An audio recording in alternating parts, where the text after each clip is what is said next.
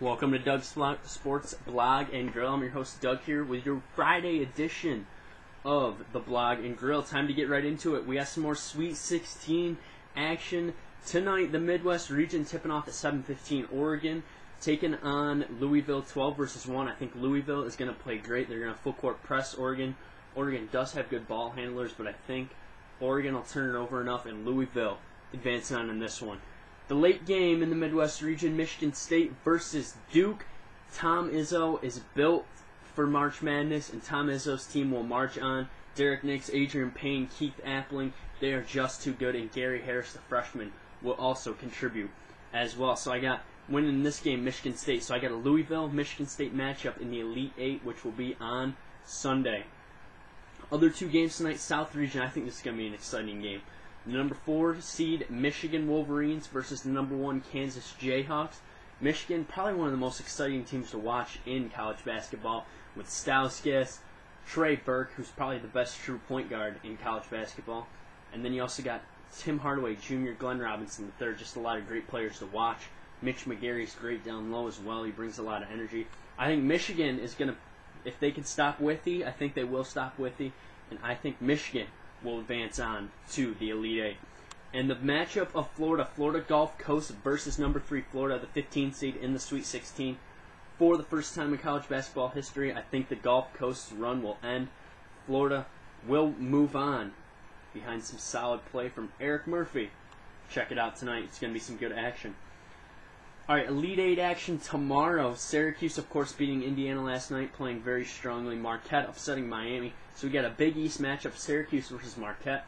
I think the difference in the game is if Syracuse can shoot the three ball effectively and stop the penetration of Marquette. I think the zone is playing a lot better than it was last time these two teams matched up. Remember, Syracuse only lost this game by three points in Marquette. That's a tough place to play. Marquette didn't lose there all year. I think Syracuse gets the win. They're moving on to the Final Four. Last time they beat a number one seed in the NCAA tournament, 2003, they beat Oklahoma and Texas, and they went on to the national championship.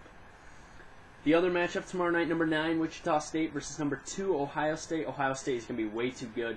Wichita State plays strong, but Ohio State just plays more angry than the Shockers.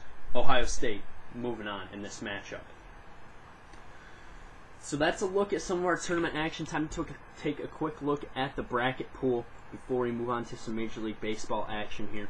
So let's just take a look at the bracket pool. My bracket kind of went downhill last night. I lost two games. The only team I had, actually, I didn't have any correct games picked last night. My bracket, eh, a little bit in tatters, but still doing solid. So winning the Doug's Blind Girl right now is Mike Larkin. Mike Larkin winning it right now. He can win it, pick up the 50 bucks. It's going to be great.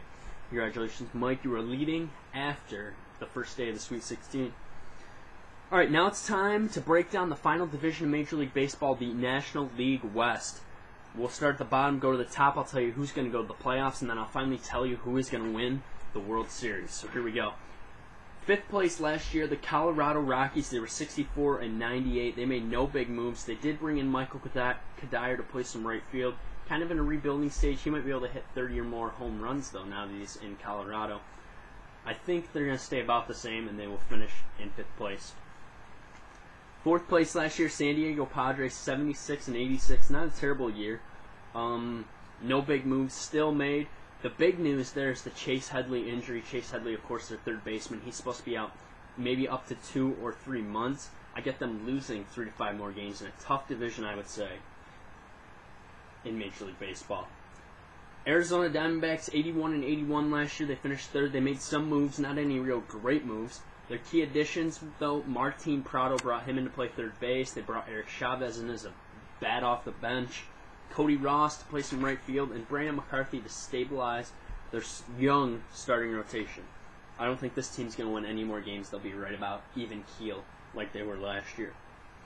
The team that spent a lot of money in the offseason, the LA Dodgers, 86 and 76 last year. They finished second, eight games behind the World Series winning Giants. This team's on the upturn for sure. They brought in Zack Greinke. They paid him a boatload of money. Brandon League, they brought him in to close. I think they're going to be in good shape. This team could win six to nine more games this upcoming year.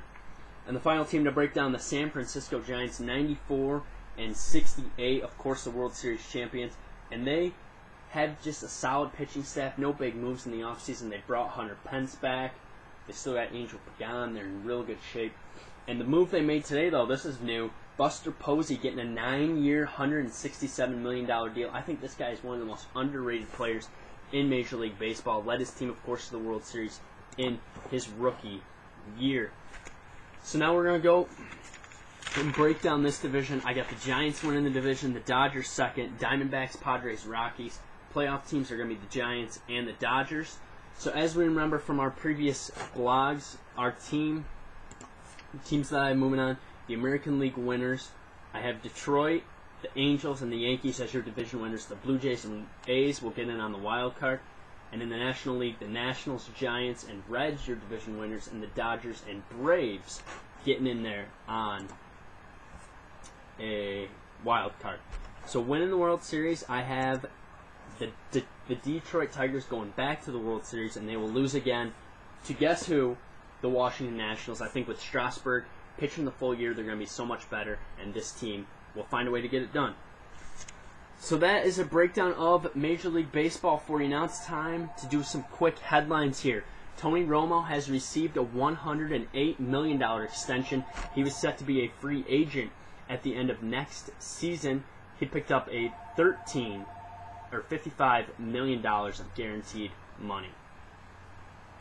Justin Verlander, he gets a record deal, 180 million dollars over the next seven years, which is interesting as well as these guys are getting paid big time.